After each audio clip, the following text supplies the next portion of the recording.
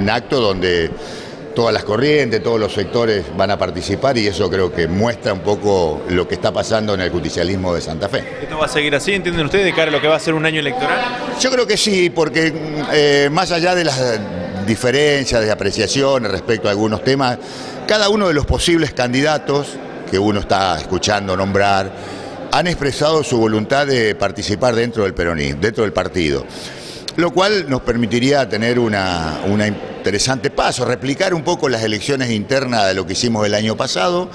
Y esto está bueno porque mm, nos va a permitir consolidar un proyecto donde las diferencias se van a resolver acá adentro y donde seguramente esto nos va a venir bien pensando en el 2019. A nivel nacional se habla de entre 5 y 6 actos en diferentes provincias, con diferentes dirigentes. Ahí sí se ve, si quieren, más, eh, más separación del peronismo pensando inclusive en 2019 para enfrentar al gobierno de Cambiemos?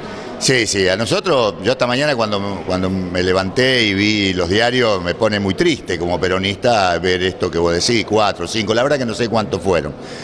Eh, me parece que nos está faltando una autocrítica, alguna reflexión seria, dejar de lado algunas individualidades, porque de lo contrario eh, va a ser difícil, ¿no es cierto?, resolverlo. Yo participo en la mesa de conducción nacional como presidente del partido y te puedo asegurar que la voluntad de Gioja, el presidente, es un poco hacer lo mismo que estamos queriendo hacer acá. Por ahí los actores son diferentes, son más complicados y en este escenario, bueno, pero falta mucho. Es decir, acá hay una diferencia temporal que también hay que manejarla. Nosotros, según lo que estamos escuchando, el programa electoral nuestro va a ser muy anterior al de la Nación, lo cual una ventaja que no nos va a tocar de cerca en la estrategia nuestra y esto también significa que hay más de ocho meses para resolver estas cuestiones nacionales. La lealtad como un principio, ¿se mantiene dentro del peronismo o, bueno, lamentablemente por algunos dirigentes que fueron cambiando de partido no, no, no se continúa? Sí, sí, yo no quiero personalizar, pero bueno, yo hoy leía...